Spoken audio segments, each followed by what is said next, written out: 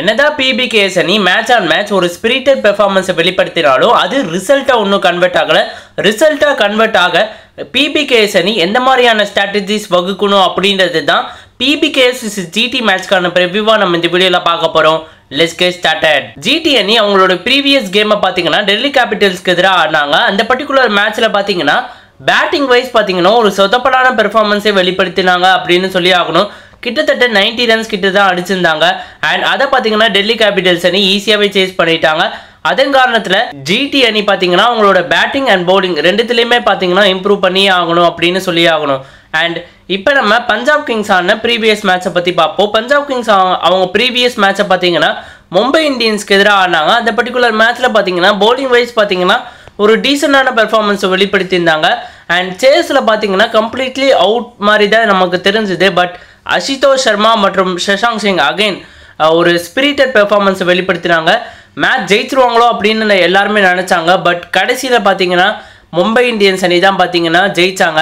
அது வந்து பார்த்தீங்கன்னா பஞ்சாப் கிங்ஸ் ஃபேன்ஸ்க்கு ஒரு டிசப்பாயிண்ட் டிசப்பாயின்மெண்ட்டை பார்த்தீங்கன்னா வெளிப்படுத்திச்சு அப்படின்னு சொல்லி ஆகணும். ஸோ ரெண்டு டீமுமே பார்த்தீங்கன்னா ஒரு லூசிங் மொமெண்டம்ல தான் இந்த பர்டிகுலர் மேட்ச்குள்ளே வராங்க. இந்த பர்டிகுலர் மேட்ச் பார்த்தீங்கன்னா பஞ்சாப்ல இருக்கிற முலான்பூர் ஸ்டேடியம்ல தான் நடக்க போகுது. முலான்பூர் ஸ்டேடியம் பார்த்தீங்கன்னா இந்த பர்டிகுலர் சீசனில் பார்த்தீங்கன்னா ஒரு பவுலர்ஸ் ஃப்ரெண்ட்லியான பிச்சாகவே இருக்குது கொஞ்சம் பெரிய பவுண்ட்ரிஸ் இருக்குது அண்ட் அதுக்கப்புறம் பார்த்தீங்கன்னா ஃபாஸ்ட் பவுலர்ஸ்க்கு கொஞ்சம் நல்ல ஹெல்ப் இருக்குது அப்படின்னு சொல்லி ஆகணும்.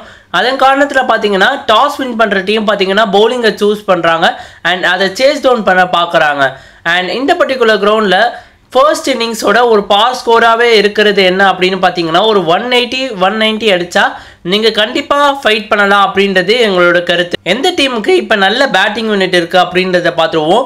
பஞ்சாப் கிங்ஸ் அணியை பொறுத்த வரைக்கும் பார்த்தீங்கன்னா Shikhar Dhawan completely not fit அப்படின்ற தகவல் பார்த்தீங்கன்னா வெளியே வந்திருக்கு அதன் காரணத்தில் கண்டிப்பாக ஷிக்கர் தவன் இந்த பர்டிகுலர் மேட்ச்குள்ளே விளையாட மாட்டார்.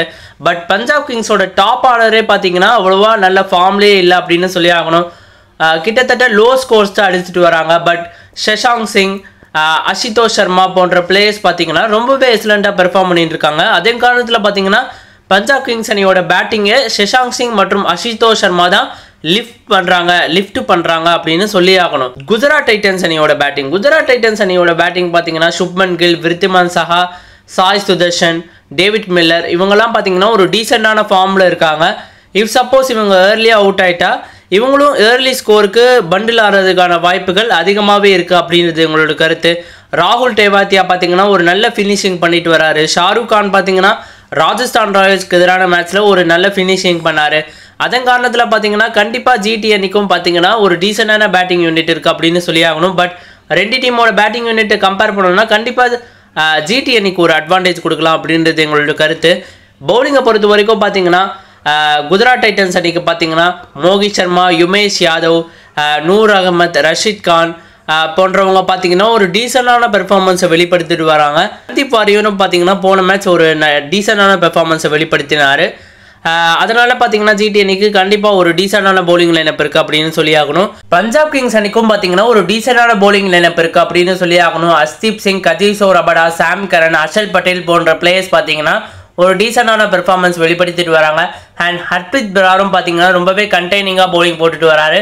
அதே காரணத்தில் கண்டிப்பாக பஞ்சாப் கிங்ஸ் அணிக்கும் பார்த்தீங்கன்னா ஒரு டீசெண்டான bowling லைனப் இருக்குது அப்படின்னு சொல்லி ஆகணும். இப்போ நம்ம ரெண்டு டீமோட பவுலிங் லைனப்பையும் கம்பேர் பண்ணோம்னா கண்டிப்பாக பார்த்தீங்கன்னா பஞ்சாப் கிங்ஸ் அணிக்கு எச் கொடுக்கலாம் அப்படின்றது எங்களோட கருத்து.